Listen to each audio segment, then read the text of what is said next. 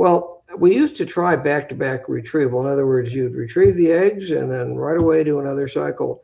And uh, we studied that 20 years ago, 25 years ago, very enthusiastically.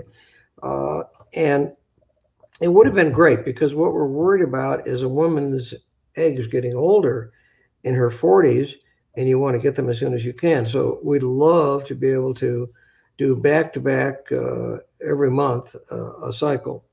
But we found that the results aren't as good as if you give that ovary a month anyway to rest, sometimes two months to rest.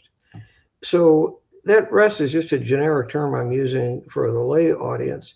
But what's really happening, you have to understand. We we learned this from studying how the ovary works by actually making eggs from stem cells derived from skin biopsy.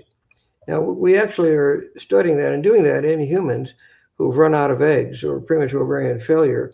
And we've gotten halfway to what we call PGCs. But in the mouse, it's really been very, very well perfected. And we've learned from that animal model that there's a period of differentiation of the egg that the granulosa cells help do. And, uh, and, and that period of time in the human is probably close to three months. And I call that IVD. The next period is IVG, gonadotropins. And that's when the FSH and LH, uh, in a very unique way, uh, stimulate that egg uh, to um, uh, be uh, meiotically competent, competent for dividing and reducing the number of chromosomes. And then it's only a day or two uh, for the actual meiosis to occur under the influence of, say, HCG or LH. And so, but it, your eggs inside your ovary are are always subject to FSH and LH. I mean, they're constantly subject to it.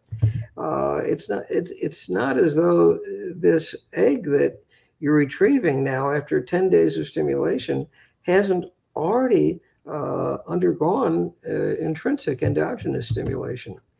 So uh, technically, all you really need to do is get those eggs that are in those growing follicles that have gone for four months without stimulation and expose them to LH or HCG, and, and you'll get good quality mature eggs. And that's what IVM is all about. Now, uh, the way we apply that practically in IVF today, though, is we just want to suppress all that uh, for a period of time so that we have a pure cohort of eggs, not just a bunch of eggs that are already undergoing atresia. Because realize, even if you have a normal ovarian reserve, 30 eggs are recruited every day from the resting reserve, and 30 eggs die every day, a thousand a month. And uh, that's a very dynamic process going on in that ovary. And so what we want to do is get you to baseline. So we stimulate you for IVF. All we get are the uh, a cohort of fresh eggs.